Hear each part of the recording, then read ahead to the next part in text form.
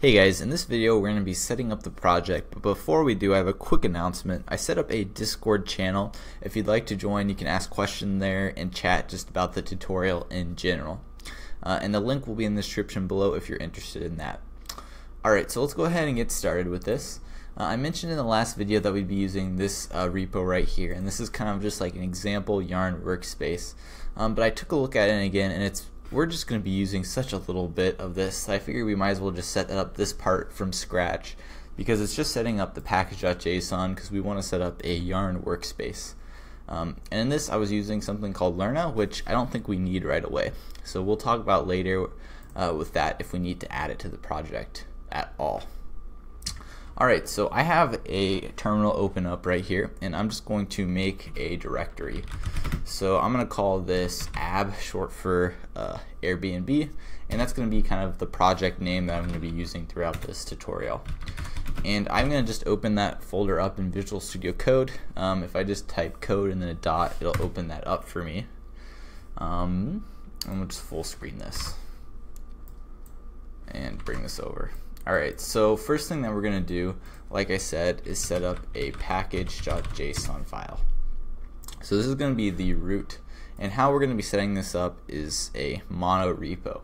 So what's going to happen is this is going to be the root directory, and this we're going to have a packages folder that's going to contain our server, our React Native app, and our React app. So to initialize this and to basically handle and do all these things, uh, for a mono repo, we're going to be using yarn workspaces. So that's what we're initializing right now. So we're going to say private true, and then you specify your packages. So packages. And for us, our packages, oops, not packages, workspaces. So our workspaces are in a folder called packages. So we're going to make a folder called packages. So this is where we're going to put all of our code inside of packages. And we did a packages star here, so it grabs all the folders that we add to packages automatically. So those are going to be a Yarn workspace uh, right off the bat. Alright, uh, one other thing that I forgot to mention in yesterday's video is I'm going to be using the terminal uh, that's built into Visual Studio Code. So right here I can do ls, I can do whatever I want here. So you're going to see me just kind of pop that in and out like that. If you'd like to, you can also open it through View and then I think it's terminal, yep, integrated terminal right here. I have this little hotkey memorized, so I just have it pop up uh, and down. So that's what I'm going to be using uh, to do commands and whatnot. Alright, so that's pretty much all we need to do to set up the Yarn workspace. Now we just need to add our first package. So this is what we're going to use for this server. So this is something that I have built before. Uh, and I did a series on this uh, of videos of how I built this. So if you're interested to see how this is built, if you're new to this, I have a link to the playlist there, or I'll also have one description below. So we're going to just clone this. And for those of you that have your own version of this, um, the only thing I updated from the video is just upgrade the dependencies uh, on this specifically also TypeScript is now version 2.9 in this project. But yeah, so we're just going to click on here, we're going to copy that so we can clone this. So I'm going to cd into packages and then I'm going to say git clone uh, this project and then I'm going to call it server. So that'll add the project. So now inside of packages I should have a server. Now this has its own git um, folder in there so I'm just going to go ahead and remove that. So remove rf.git inside of the soul, uh, the server folder. Um, and so now we have only a single, well I guess we don't even have a single uh, git. So I'm going to just do git init in the root directory.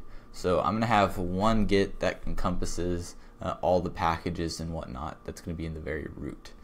Uh, and I'm just going to move the git ignore up to the root directory where our package.json is. Alright, so I want to just quickly um, show you how you can run this. And actually, before we do, let's go ahead and run yarn install to install uh, the de dependencies for this. Alright, so there's something called the orm config. So this thing is how you set up how it connects to the database.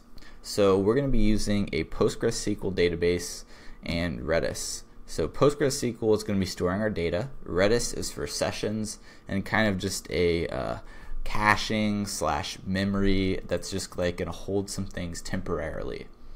Now, this is how you connect to PostgreSQL, and there's two things. There's development and there's test.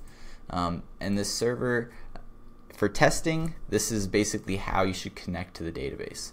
So, for example, I'm saying I want to connect to a PostgreSQL database. Here's the host, the port, whatnot, uh, the username, and the password.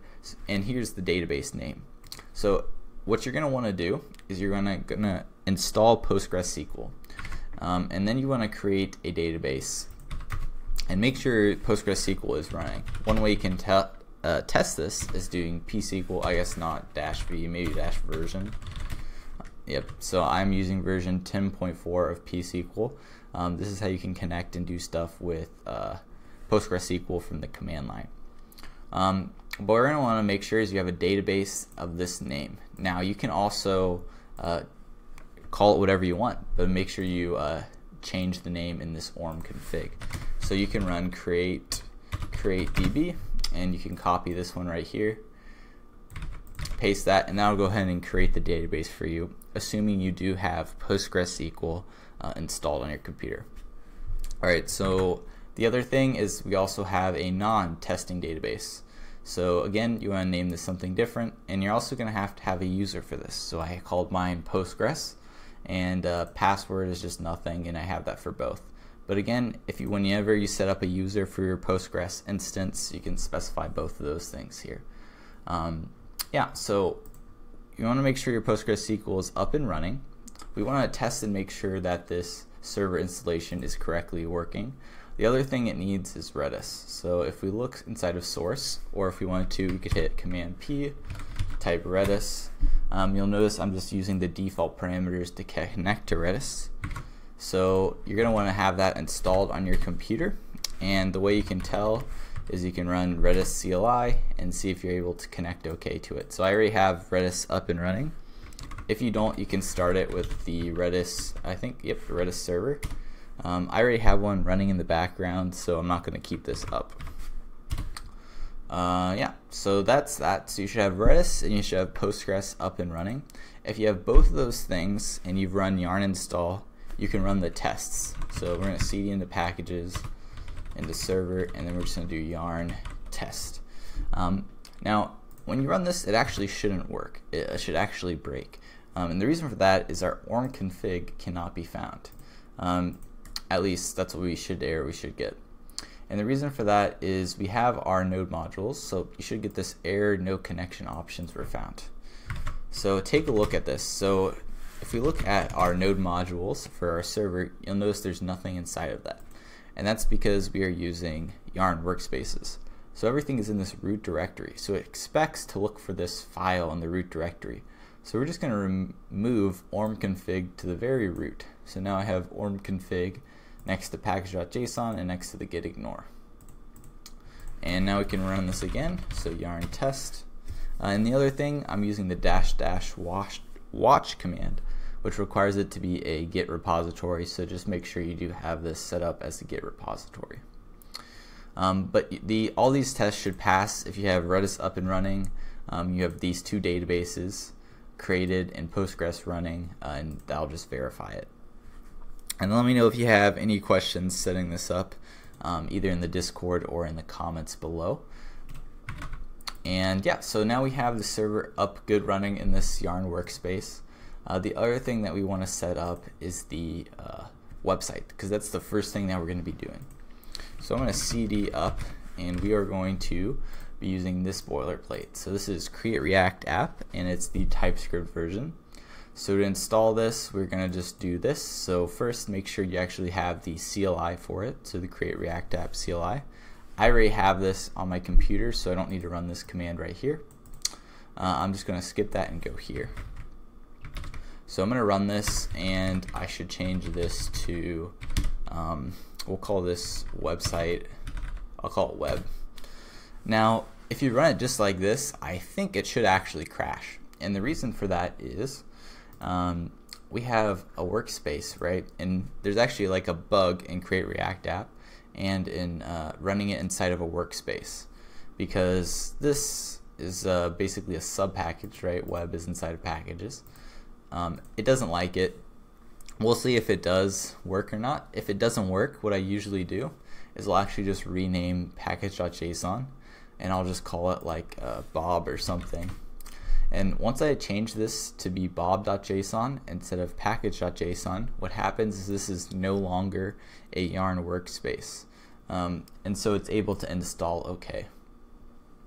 And then when whenever this goes ahead and installs all the stuff, what we're going to do is inside of web, you'll have a node modules. We're just going to remove that, rename this to package.json, and then do a yarn install that will install all the dependencies in the root directory. But we'll let this finish installing and then we'll come back and do that.